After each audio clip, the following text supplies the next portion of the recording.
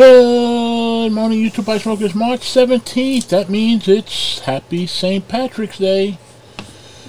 Hope you have a good one, and I hope you don't drink too much and have some corn uh, beef and cabbage. You were born with greatness in you. Loyalty is rare. If you find it, keep it. If a man knows not what port he sails, no wind is favorable. Don't believe everything you think. And today is another chance. TGIF, once again, so quick. March is half over, plus. Anyway, be well, stay safe, thank you.